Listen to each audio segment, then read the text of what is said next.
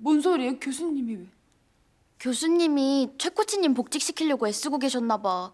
근데 오늘 학교에서 일방적으로 새 코치 배정해버려가지고 때려친다 그러고 가버리셨대. 야 가자. 아 우리만 역도나 시키고 있으면 뭐하냐? 교수는 신경도 안 쓰는데. 그러게 운영비 삥따치 코치님만 중요하고 우린 뭐 아무것도 아니라는 거잖아. 야야 집어쳐 운동 이거 먹어 가자 가자. 아, 코치님 잘못 아니야. 다 나 때문이야.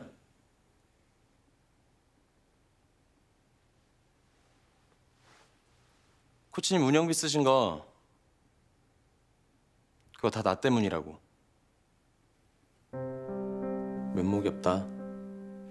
미안해, 다 내 잘못이야. 코치님 일 터졌을 때 내가 바로 얘기를 했어야 했는데 너무 완강하게 나오셔가지고. 그거 봐요.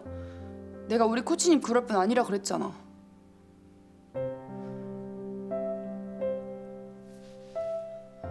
이제 어떡해요?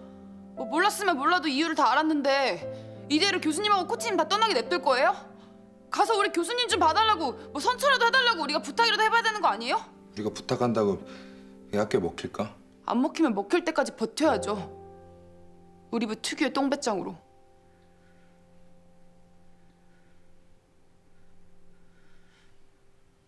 역도부는 최선 코치의 복직을. 희망합니다!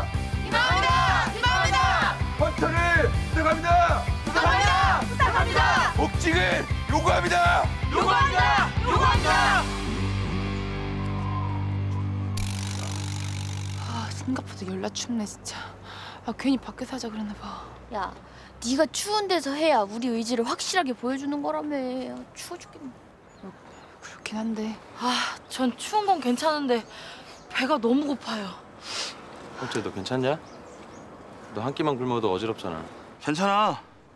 내 좌우명이 배부른 돼지보다는 배고픈 소크라테스가 낫다야. 아 된장찌개다. 오늘 학식 된장찌개인가 봐. 아니에요. 이건 얼핏 보면 된장찌개 같지만 바다의 내음이 물씬 풍기는 게 이거는 건된장을 풀어 만든 개찌개예요. 어씨, 복직 정답. 이거 개찌개 맞아 100%야. 대찌개 맛있겠다. 생채에 밥 비벼 먹으면 진짜 대박인데.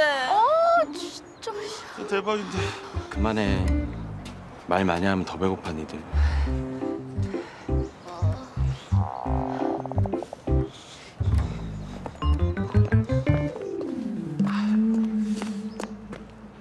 뭐야 저것들은 역도부 애들이 최성훈 코치 복지시켜달라고 단식 투쟁한다고 저것들이 참 여러 가지 한다 교수나 제자나 아주 제대로 꼴값이구만 날도 추운데 저러다 말겠죠. 자, 들어가시죠.